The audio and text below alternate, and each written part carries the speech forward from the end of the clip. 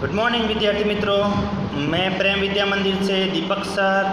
कक्षा दस में, पाठ नंबर तीन में से हमने पहली विधि जो थी, वो हमने देख ली थी, प्रतिविस्थापन विधि। बराबर? अब दूसरी विधि से हम देखते हैं तो दूसरी विधि है, विलोपन विधि।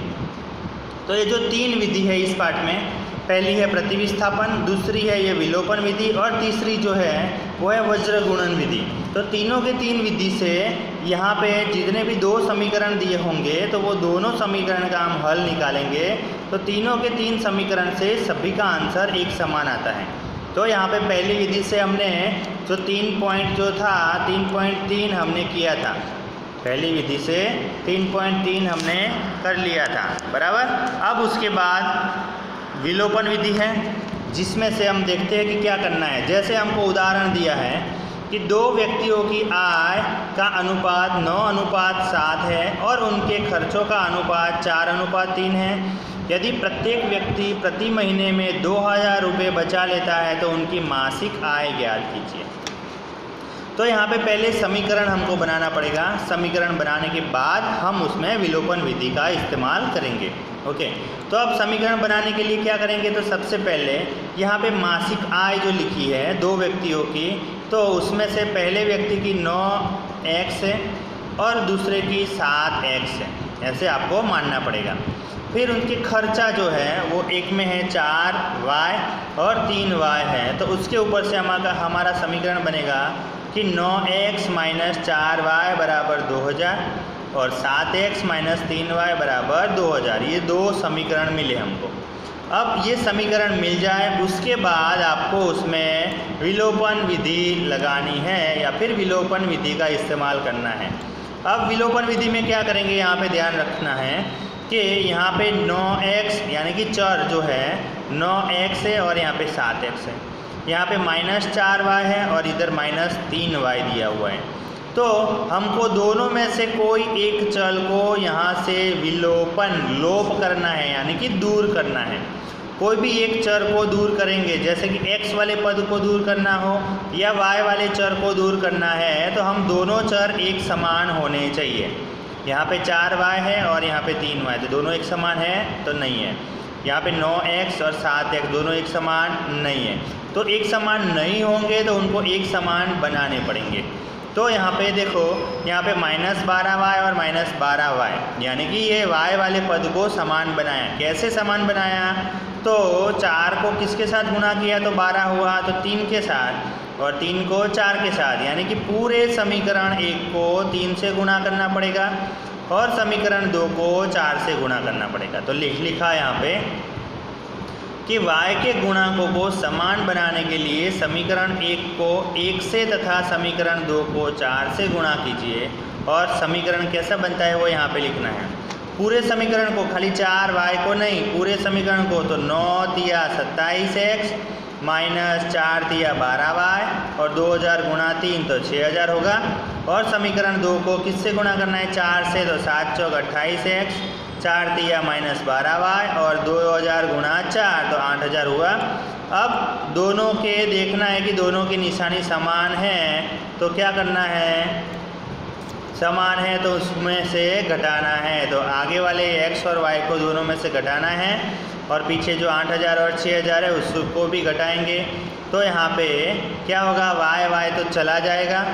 अट्ठाईस एक्स में से सत्ताईस एक्स गए तो एक एक्स बचेगा और आठ हज़ार में से छः हज़ार गए तो दो हज़ार बचेगा। अब ये जो x बराबर दो हज़ार आया, वो किसी समीकरण एक या दो में रखना है। x की जगह पे दो हज़ार तो उसके लिए हमको x की जगह पे दो हज़ार रखेंगे तो y बराबर आंसर चार हज़ार आएगा।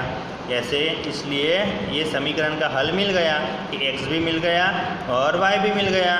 तो समीकरण x बराबर, यानी कि x बराबर आंसर आया 2000 और y बराबर आंसर आया 4000 तो ऐसे आपके व्यक्तियों की मासिक आय ऐसा होगा। बराबर? तो जो विलोपन विधि है, उसको क्या करना है? तो विलोपन विधि में उसमें से कोई भी, दोनों में से कोई एक चर का विलुप्त करना है, यानी कि लोप करना है, और फिर उसको जोड़ या घटाव, जिसका लोप करना है, उसमें देखना है कि उसमें कैसा करना है। यहाँ पे उसके चरण भी दिए हैं तो चरण जो है, वो अच्छी तरह से समझ लेना। और फिर उसके ऊपर से जैसे उदाहरण नंबर बारह दिया है तो वो बारह में भी उसी तरह करना है। कि दो एक्स प्लस तीन वाई बराबर आठ, चार एक्स प्लस छः वाई बराबर सात। अब दोनों में से कौन से चर को समान बनाना है? तो समीकरण, ये जो एक्स चर को समान बनाना है तो समीकरण एक को दो से गुणा करना पड़ेगा। दो से गुणा करेंगे तो चार एक्स प्लस छः वाई बराबर सोलह हो जाएगा। और यहाँ पे चार एक्स प्लस छः वाई बराबर सात है। तो यहाँ पे चार एक्स चार एक्स कट हो जाएगा।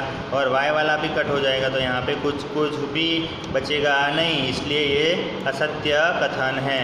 फिर उदाहरण नंबर तेरह जो है, वो आप बुक में देख देख के अच्छी तरह से लिख देना। फिर है प्रश्नावली तीन पॉइंट चार। तो ये जो विलोपन विधि से पूरे प्रश्नावली में विलोपन विधि का ही इस्तेमाल करना है, विलोपन विधि करके फिर उसमें ये सबका आंसर आपको निकालना है। तो प्रश्नावली 3.4 वो आपको विलोपन विधि से ही करनी है।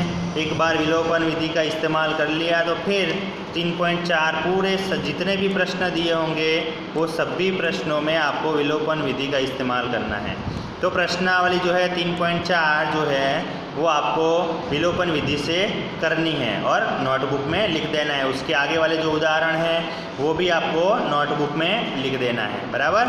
तो उसके बाद हम वज्र गुणन विधि का इस्तेमाल करेंगे। तो ये प्रश्नावली जो है 3.4 वो विलोपन विधि से आप अच्छी तरह से लिख देना। उसमें से एक प्रश्न मैं आपको करके बताता हूँ। वो उसमें थोड़ा ध्यान देना और समझ लेना। ओके? यहाँ पे हमने एक प्रश्न लिखा है कि विलोपन विधि का, जिसमें पहला प्रश्न है, x प्लस वाई बराबर पाँच और दो एक्स माइनस तीन वाई बराबर चार दिया है हमको प्रश्न में। पहला जो है उसको समीकरण नंबर एक देंगे, दूसरा जो है उसको समीकरण नंबर दो देंगे। अब क्या करना है हमको? यहाँ पे देखना है कि किसको हम दोनों में चर समान बनाएँ तो यहाँ पे एक्स एक्स वाले चर को हम समान बनाते हैं। तो समान बनाने के लिए क्या करना पड़ेगा? इस समीकरण एक को दो से गुणा करके समीकरण दो से घटाव करने पर। क्या लिखा है? समीकरण एक को दो से गुणा करना है। एक को दो से गुणा करो और समीकरण दो से उसका घटाव करना है। क्यों घटाव करना है? क्योंकि यहाँ पे x वाला पद प्लस है। ये भी x वाला पद प्लस है। तो दोनों समान हो चिन्ह तो उनका घटाव किया जाता है। उतना याद रखना। तो समीकरण एक को दो से गुणा करो तो दो एक्स प्लस दो वाई बराबर दस होगा और दूसरा समीकरण वैसा का वैसा लिखना है। अब यहाँ पे क्या करना है? घटाव करना है। तो यहाँ पे माइनस, ये माइनस है तो यहाँ पे प्लस हो जाएगा और यहाँ पे माइनस होगा। तो दो एक्स दो एक्स कट हो जाएगा। यहाँ पे दो और तीन तो पाँच वाई।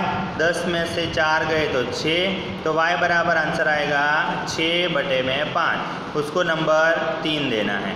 अब समीकरण नंबर तीन जो है, उसको किसमें रखना है? समीकरण नंबर दो में। तो समीकरण नंबर तीन को किसमें रखना है? दो में रखेंगे। तो दो में रखेंगे तो समीकरण दो हमारा था कि दो एक्स माइनस तीन वाई बराबर चार था। उसमें हमने y की जगह पे क्या रखा? छः बटे में पाँच। y बराबर क्या था? छः बटे पाँच था तो y की जगह पे छः बटे पाँच रखा। तो यहाँ पे दो एक्स का दो एक्स छः गुणा तीन तो अठारह बटे में पाँच हुआ। यहाँ पे बराबर चार का चार।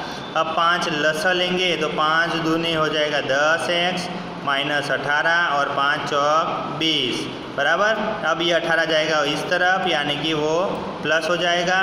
तो दस एक्स बराबर बीस प्लस अठारह तो x बराबर क्या होगा? अड़तीस बटे में दस, भाग होगा तो उन्नीस बटे में पाँच। तो हमारा आंसर आपको लिखना कैसे है? एक्स और वाई में तो एक्स बराबर उन्नीस बटे पाँच और वाई बराबर छः बटे में पाँच। तो इसी तरह से आपको सारे प्रश्नों का हल इसी रीति से निकालना है, तीन पॉइंट चार प्रश्नावली में। तो जैसे दिया है, ये उदाहरण या फिर ये प्रश्न करके दिया है, समझ में नहीं आया तो फिर से इसको रिपीट करके भी देख सकते हो आप और इसको समझ सकते हो और इसके ऊपर से आपको प्रश्नावली 3.4 करनी। Okay thank you